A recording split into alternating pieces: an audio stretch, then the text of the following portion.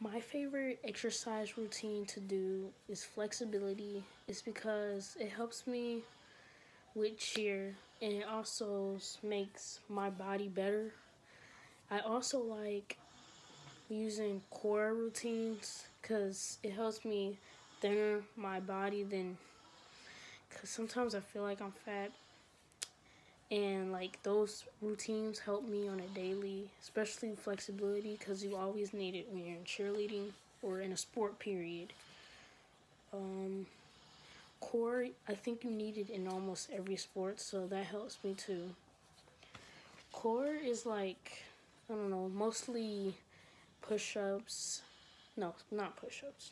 It's sit-ups and curl ups flexibility is more like sit and reach and stuff. So those are the my exercise routines that I like.